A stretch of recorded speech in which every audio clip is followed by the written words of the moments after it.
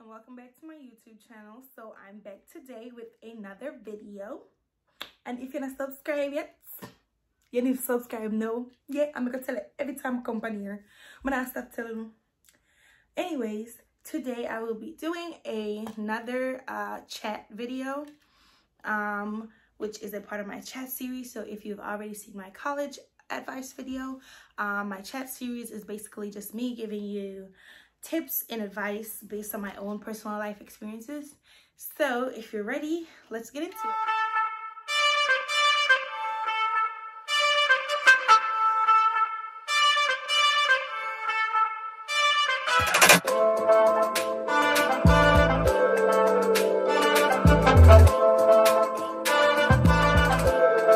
So the topic of today's video is comparison is a thief of joy, which is a quote that was said by a former US president, Theodore Roosevelt.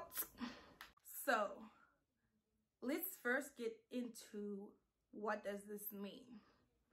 So essentially what the quote is saying is that comparing yourself to others is taking away your joy or your happiness and it's also depriving you of the things that you do have while also cursing you for the things that you don't have.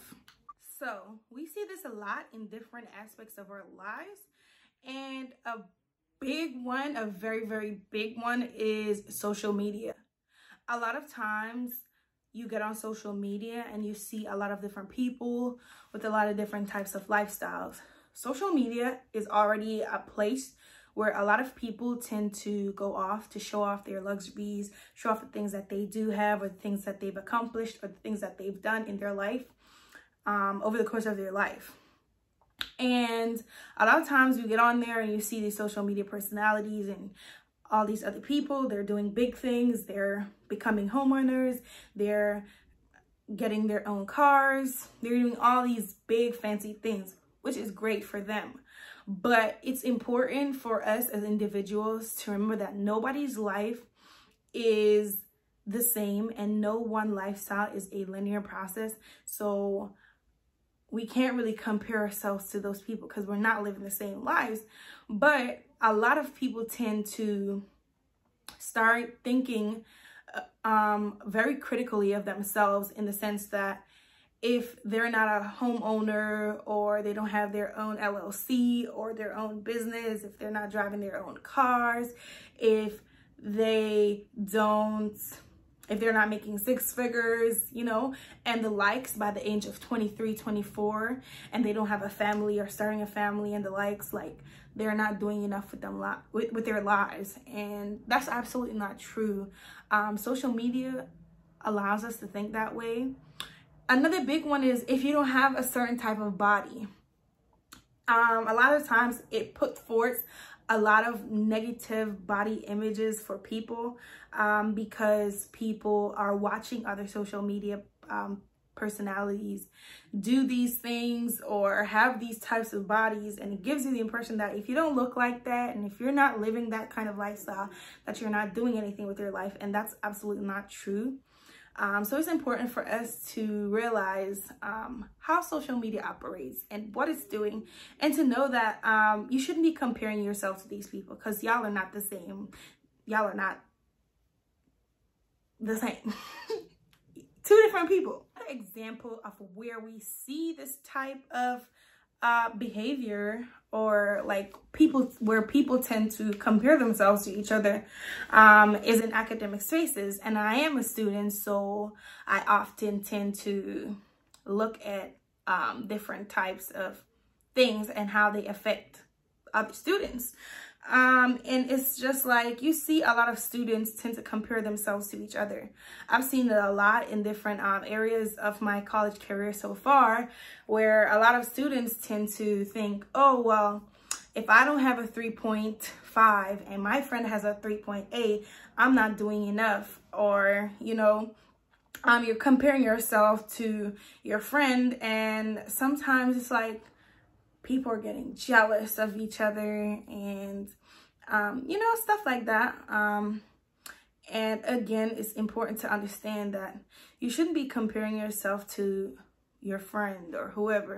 And it will also sit with like one person getting an internship before the other or even in the workforce um, promotion, people getting promoted over the other person, you know, the likes. Um, comparison, comparing yourself to others like that, it essentially like you aren't able to celebrate your own small wins. You aren't able to celebrate your own wins at all because you're focused on what the other person is doing. And it's important for us to move away from that type of behavior. So I just gave y'all like two examples of how uh, comparison um, affects us in different aspects of life. And feel free to comment down below in other ways that you've seen comparison affect others. So now I want to move away from examples and the likes and I want to get into some things that we can do about it. And I have my notes written down because y'all know I always have my notes. Um, so first, you want to make sure that when you are comparing yourself to someone else for whatever the reason may be, try to make a mental note of it or try to write it down because I think a lot of times we compare ourselves to other people, but we don't realize that we're doing it because we're not doing it consciously. So you want to make a mental note of it, write it down somewhere um, so you can like have that in your head like, okay, I was comparing today. What can I do about it? You know? Um, so the second thing, as I had mentioned before, um, when you're comparing yourself to others, you tend to lose sight of your own wins. Um, so you want to try to start celebrating your small wins. And not just the small wins. Obviously, you celebrate the big wins. You celebrate all the wins because a win is a win point blank, period. But you want to celebrate even those small wins because you can never be too grateful for the things that you have. Um, so focus on the things that you do have and not the things that you don't have. The next thing is, um, which I think like it helps for a lot of people that I know and for myself as well, social media detox, baby social media detox, okay? For me, um, getting off social media because I'm unable to see all that stuff, you know, getting a little break to enjoy me, to understand, learn myself, and being able to just like be in my own space um, is really helpful. Um, so try you a social media detox, okay? Next thing is to realize and understand that no one is perfect. No one is perfect. Okay? Adam wasn't perfect. Eve wasn't perfect. You ain't perfect. I ain't perfect. The person you was yesterday wasn't perfect. The person you comparing yourself to isn't perfect. None of us are perfect. If we was perfect, we wouldn't be here. So no one is perfect. And to be completely honest, no one needs to be perfect. That's not what it's about. Just try to be the best version of you that you can possibly be. But no one is perfect, okay? Next, you want to try this is something that's been helpful for me as well. Um, try to compare yourself if you have to do any type of comparison. Compare the you of today to the you of yesterday. And I don't mean like literally yesterday, but I mean like the you of today versus the you of last year. You from today to your last birthday, how have you changed? How have you progressed? How have you become better? In what aspects of life have you changed? So try to, if you have to compare anything to anything or anyone to anyone, compare yourself to yourself. Look at how you've progressed and how you've changed over time. That's the best way to compare. Okay, so uh, the next thing you want to do is focus on your strengths. So I'm to say this because I really do believe it. Um, you are your own worst judge. You will judge yourself more than anybody else will judge you. There are things that you will see about yourself that other people may not see. You are your own worst judge. And as your own worst judge, a lot of us tend to think about our weaknesses first.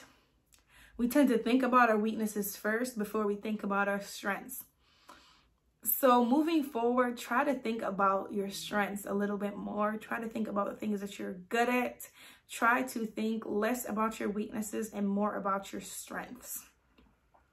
And if all else fails and you just feel like you gotta compare yourself to somebody because that's the best way to become the best version of yourself, compare yourself as a form of inspiration and not a form of like don't like don't use it as a way to belittle yourself.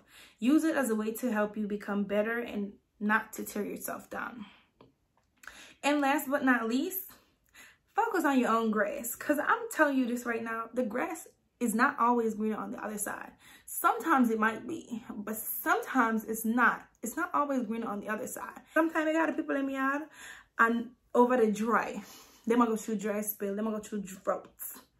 So now go over there and things say yeah them have green grass because that's not always the case. But stop comparing yourself to people. It's not worth it. It's not worth your your mental health and it's not worth like your lowering your self-esteem or your confidence. Um worry about you and how you can be the best version of you. And that's it for the video. So i hope y'all are doing well and y'all are self-caring and taking care of yourself and remember my love on the bye Mwah. have a good rest of your day